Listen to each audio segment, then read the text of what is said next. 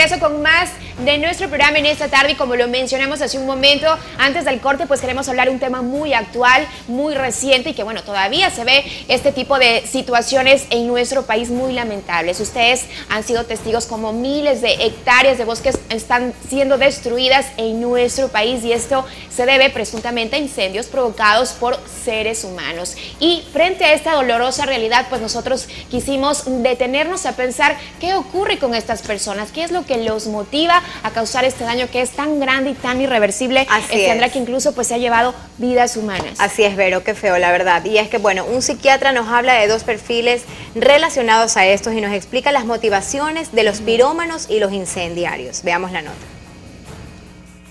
En distintas provincias del país, los incendios forestales han sido motivo de preocupación durante las últimas semanas.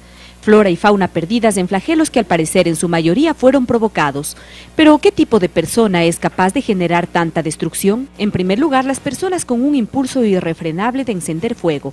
Los pirómanos encuentran placer en las sensaciones que provoca la materia cuando se quema. Estos no lo hacen con la intención de causar daño, aunque tampoco sienten remordimiento frente a las consecuencias. El pirómano está dentro de la clasificación de las enfermedades psiquiátricas. El, pirómano es una persona que encuentra placer, satisfacción al ver el, fuego, las llamas, eh, el sonido. ¿no? Es un placer, una satisfacción.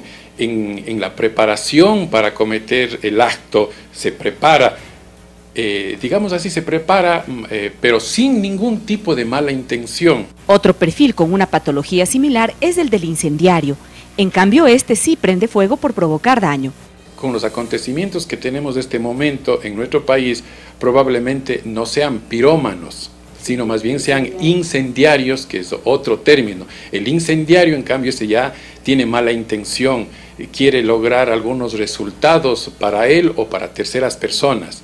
Entonces, eso tenemos que tenerlo muy bien claro y analizarlo desde ese punto de vista.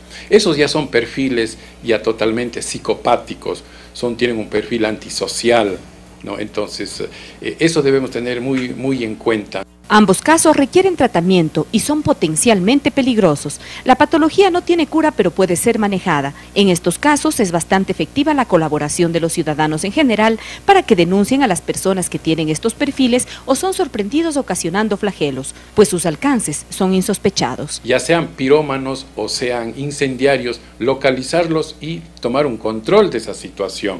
Entonces, esas campañas eh, eh, están bien, están bien. Claro que no van a hacer efecto en los pirómanos e incendiarios, eh, o, muy poco, sino en la conciencia de la población en general.